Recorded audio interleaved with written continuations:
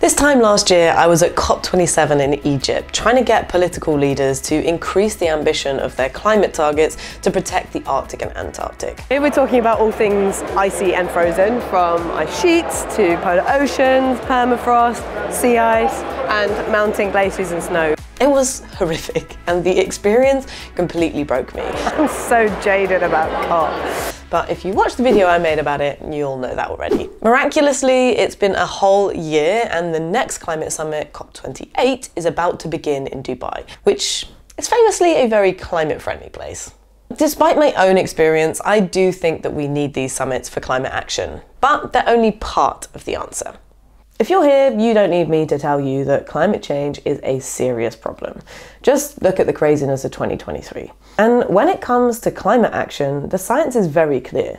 We are not doing enough, and we are not doing it fast enough. Cutting emissions will save people's lives, livelihoods, and homes. So we need to dramatically cut our fossil fuel addiction and reshape our economies and the way we use land. But how the hell do we do that? Climate change is so challenging to tackle because it's a huge international problem. And international problems require international solutions. That's where the Conference of the Parties, or COP, comes in.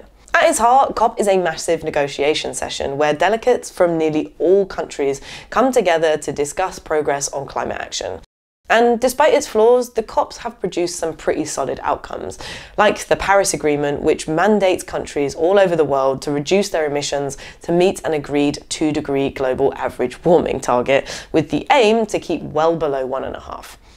In fact, there are plenty of good examples of international collaboration delivering successful environmental protection measures, including the Antarctic Treaty and the Montreal Protocol to heal the ozone hole. Check out this up here if you want to hear more about how successful international negotiation works. The problem is that the whole international climate negotiation process is. Well, climate change is the opposite. And there's increasing evidence that 2 degrees is already too devastating for many parts of the planet, including the West Antarctic and Greenland ice sheets, coral reefs, and many low lying areas of the world. And because it's a geopolitical event, money, power, and influence shape the negotiations, meaning the people who need to be listened to at COP, like small island nations or indigenous people on the front line of climate change, just aren't being listened to. That's nice, Theo. So the TLDR is some good things have come out of COPs, but they're not enough and they're not changing things fast enough. This year's COP is in the United Arab Emirates, which is already contentious because the UAE has quite a lot of the black stuff. And I don't mean Guinness, obviously. We're talking oil. Some COPs are more successful than others, like Paris in 2015, because the host nations put a lot of effort in before the meeting to make it a success.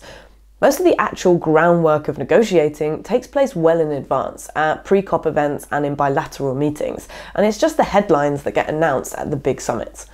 But this year's hosts have put lots of effort in, just not exactly in the right way. You'll see what I mean in a minute.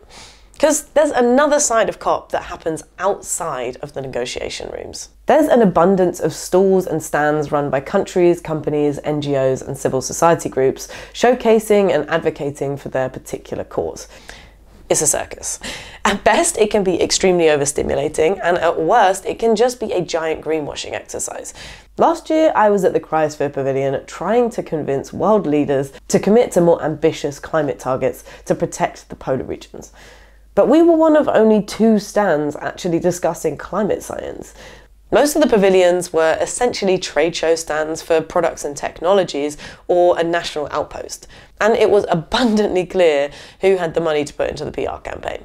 The UAE stall was the biggest, most ridiculous display of copulence I've ever seen. Other countries with smaller stands had events, interesting exhibitions, talks, displays, but the UAE stand was vast and always empty, with just these bland LED screens mindlessly scrolling through text. The person in charge of this summit, Sultan Al Jaber, is the head of the UAE's national oil company, a company that is specifically trying to expand their fossil fuel output doesn't immediately scream compatible with climate action. If we were being cynical, we could say that the fact that the climate conference is being run by an oil exec tells us everything about how seriously the UAE are taking this.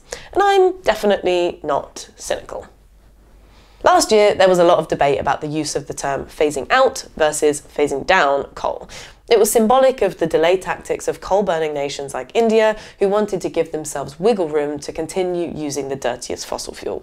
This year, the linguistic argument has moved on again, except this time the controversy is about phasing out fossil fuel emissions. Negotiations often come down to these kind of semantic banalities.